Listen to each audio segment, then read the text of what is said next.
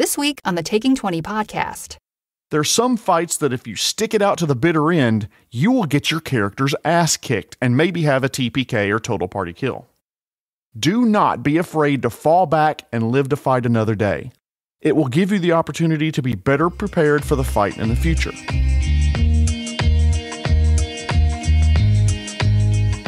Hey, hey, you. Yeah, the good looking one, listen to this podcast. Thank you so much for tuning in.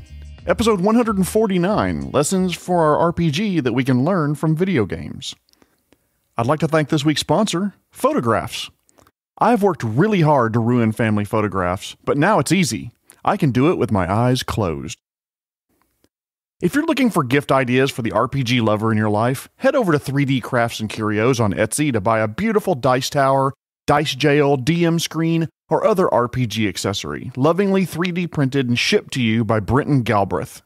There are dozens of options, dozens of color choices, and more 3D prints that you could possibly shake a stick at. So head over there and buy something for the RPG lover in your life.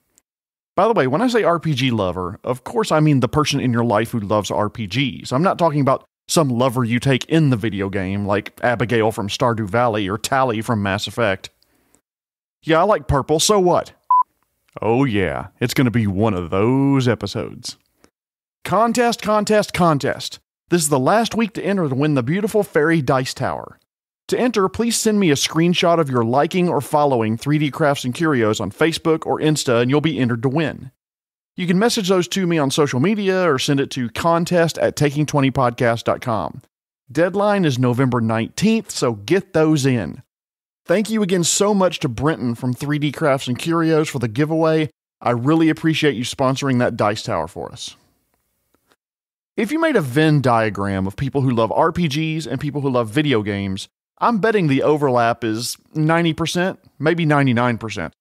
I mean, a lot of us love Dungeons and Dragons and Skyrim, or Pathfinder and Satisfactory, Blades in the Dark and Elden Ring.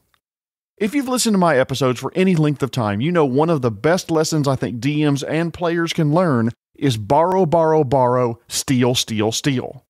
DMs, I encourage you to use plots, stories, characters, character arcs, twists, location ideas, and NPC personalities from famous movies, books, streaming series, and any other source you can get your grubby little DM mitts on. Players, I've said multiple times that there is nothing wrong with basing characters you roleplay on characters you find in other media. Want to use, I don't know, Han Solo, Hannibal Lecter, Victor Hargreeves, or hell, Courage the Cowardly Dog as the basis for your character? Go for it and have fun. Hell, I once played a Star Wars campaign where my character's attitude was largely based on Jayne from Firefly. Interestingly, when talking to other players and DMs about this very topic of borrowing ideas, one area that seems to be untapped is gaining inspiration from video games. Some of the video games straight are RPGs, and you can lift entire storylines right out of the game, plop them down at your table, maybe change a few names here and there, voila.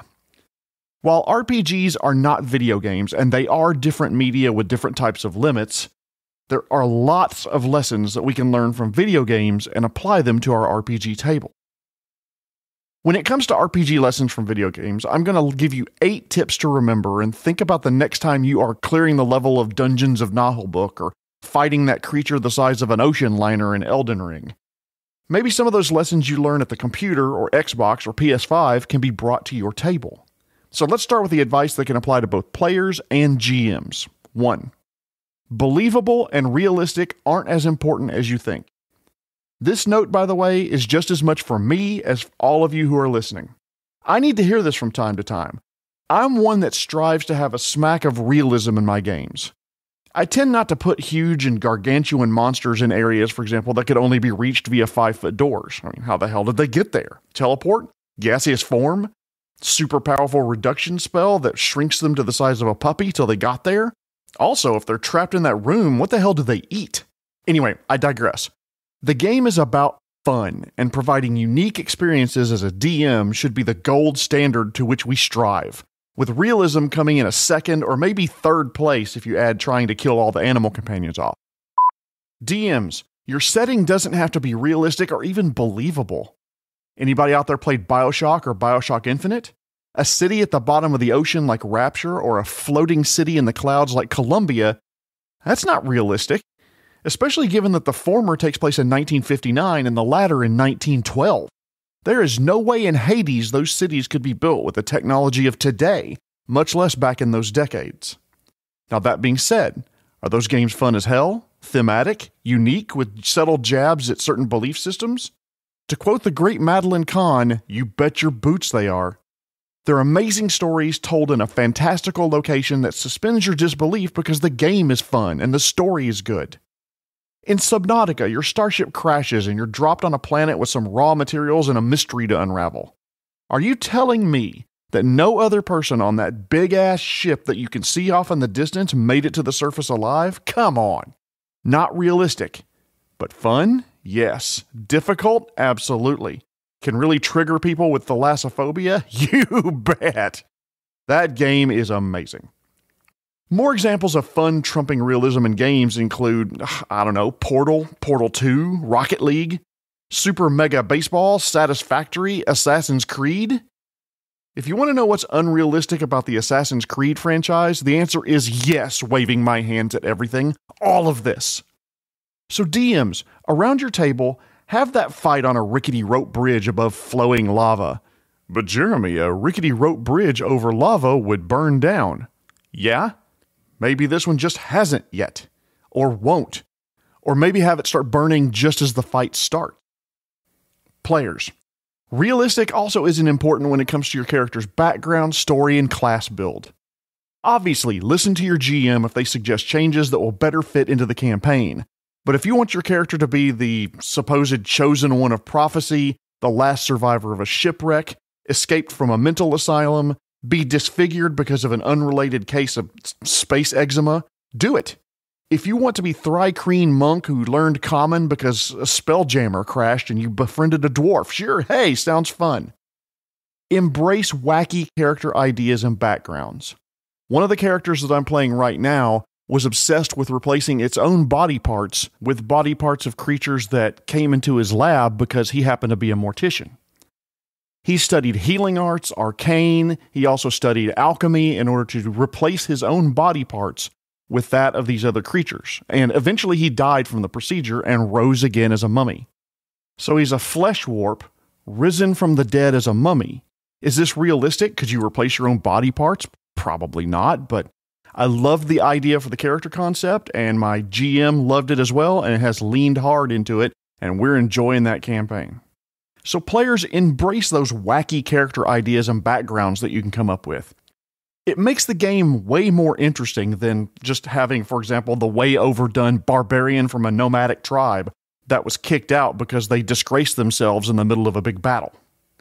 I'm going to try to keep this moving because I have quite a few ideas. So, number two for players and GMs embrace failure as an opportunity to grow and improve. Players, in some RPG games, especially if the game world is built as a sandbox, there are some fights that if you stick it out to the bitter end, you will get your character's ass kicked and maybe have a TPK or total party kill. Do not be afraid to fall back and live to fight another day. It will give you the opportunity to be better prepared for the fight in the future. Maybe the wizard prepared a ton of cold damaging spells and you run into a group of trolls whose regeneration can only be stopped with fire and acid. Rather than stick it out and make the fight 10 times harder than it needs to be, if there's an opportunity to tactically retreat, do it. Get out of Dodge. Go back to a safe area. Take a long rest. Have the wizard choose different spells tomorrow and then come back and mop the fucking floor with those gangly armed trolls. PCs will fail at parts of an adventure because they're not prepared sometimes. We can't prepare for everything. One party I'm playing in doesn't have a rogue. We really can't pick locks at all, so what do we have? a strong frontline fighter with a lot of hit points who calls the boot on his right leg, quote, the skeleton key, unquote. And we have an alchemist that always has like acidic solutions ready to help open doors that are tougher than our fighter. Similarly, DMs, we're all going to fail sometimes too. We didn't adequately prepare, we looked at the wrong monster stat block, or we didn't look at the right one close enough. We didn't adjudicate a rule properly. Hey, it happens to every single one of us. If you stay behind the screen long enough, it'll happen fairly often. Do not, do not beat yourself up over it. Learn from it. For example, the PCs do something I wasn't prepared for, I learned a long time ago because I tried to improv something and it turned into a disaster. Hey, let's take five minutes and I'll look up the monster stat block. How did I learn to do that? By screwing up a Minotaur encounter years ago. I screwed it up so badly I lost sleep over it the next night. We all make these mistakes, and all we can do is learn and improve from them. Three, players and GMs, the journey is more important than the end. In games, seeing the end credits and the post game cinematic is a satisfying moment. But don't lose sight of the fun that exists in the lead up to that moment. If a game is a long one, I'll catch myself taking on fewer and fewer side quests the closer I feel like I'm getting to the end. And a lot of times that means my character misses out on some important loot or important story beats. Similarly, I've seen players around the RPG table do the exact same thing. They find out where the boss is and they make a beeline for that fight, missing out on some great information or resources that might make that boss fight easier. Yes, killing that final boss monster, delivering the MacGuffin back to Lord and Lady Muckety Muck is always satisfying. But don't rush to the end and miss the roses along the way. And by roses, I mean that sweet, sweet loot. Oh, and good roleplay moments, of course, and maybe paying off story beat setups and discovering more about the world's culture and lore and history, but that staff of the Archmage, mm, come get you some, you big baddie. 4. Players and DMs. In games like Dragon Age, Mass Effect, Skyrim, and others, you have a choice of who you bring along with you on the adventure. Selecting the right squad mates that mesh in capability and temperament are important for your sense of fun. So, players and DMs, if you've never sat down to a table with a difficult player, then gods love you. Unfortunately, sometimes you will get a player that doesn't mesh well with the group, who doesn't set aside their personal glory for the good of the other players and characters, who demands that they get their way when it's time to split loop, or they're a complete asshole saying it's what my character would do. Sometimes we don't get a choice whom we play with at like conventions or invitations to a friend's game or similar situations. Those bad situations can be reduced to a single game session as you politely leave and just not return to that group again. However, if you're going to be investing time in a long campaign, 10, 15, 20, 30 sessions or more, make sure you have the right group to do it with. Also, if you're joining a party and they need a role filled, like, I don't know, frontline fighter or healer, consider filling that role, even if you just got done playing that in the last campaign. Change it up. Maybe make it a damage dealing cleric or a tanky cleric or debuffer cleric. You can heal, which meets the party needs, but you also get to do something fun for you.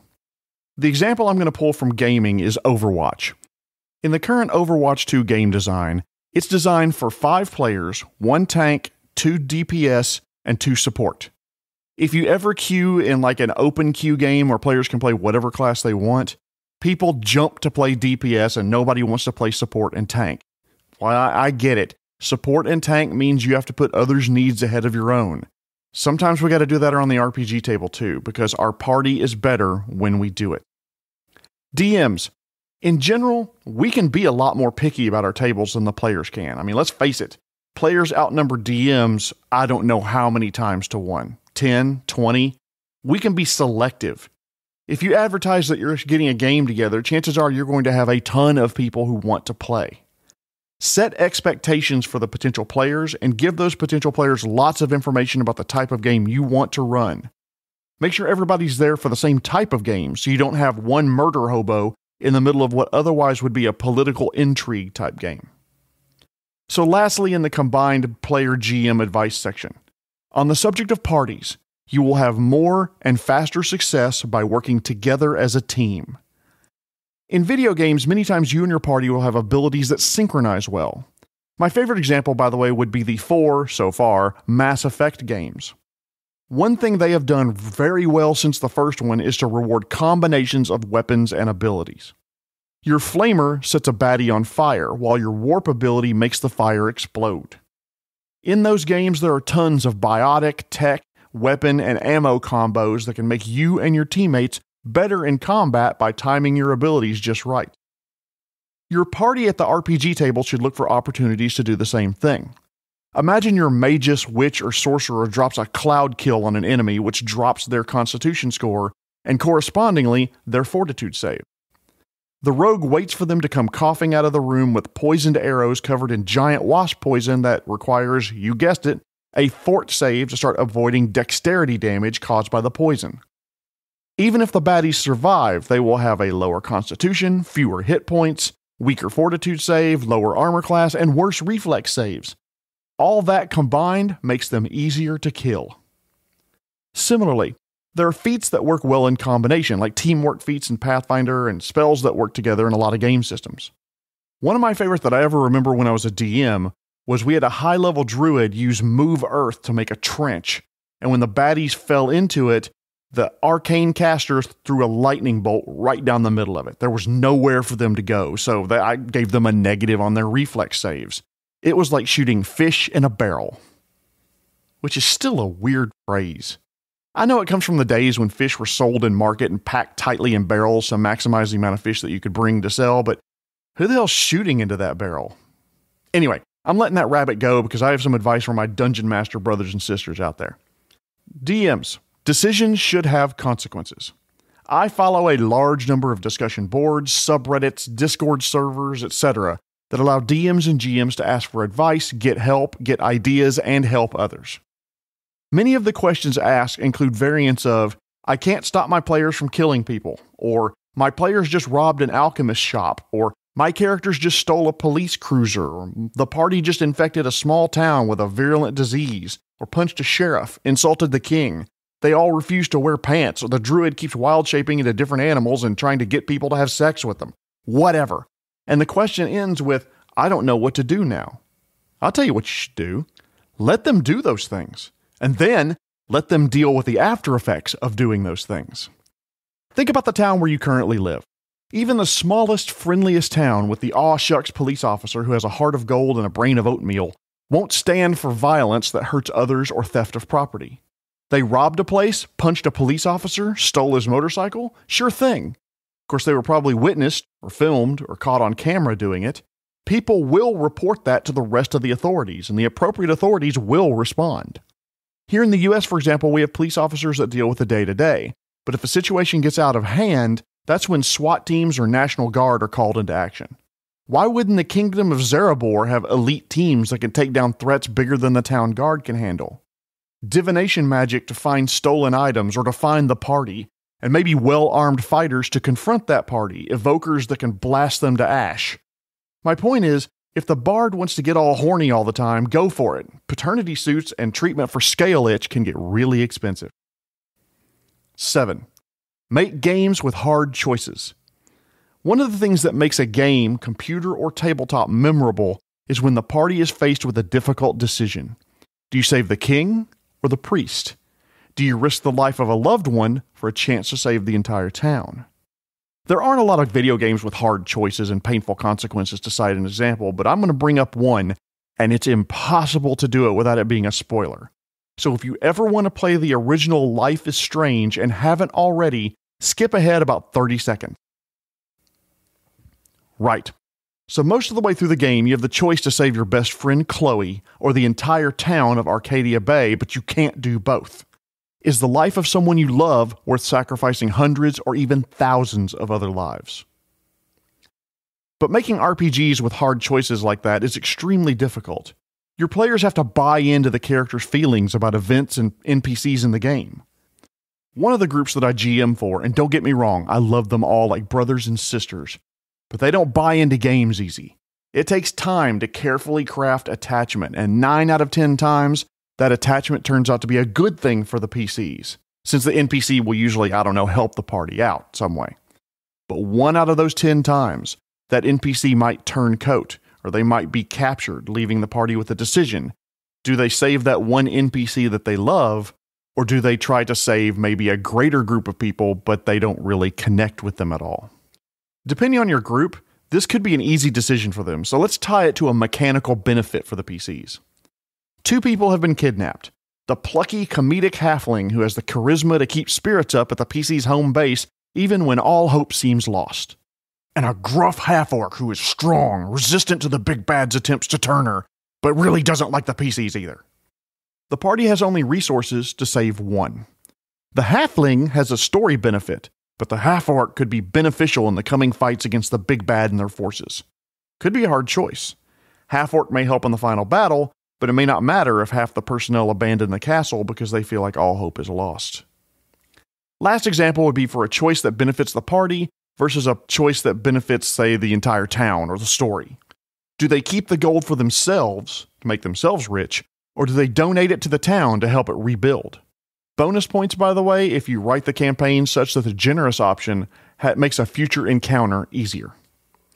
Moving on to my eighth and last point before I get lost in examples.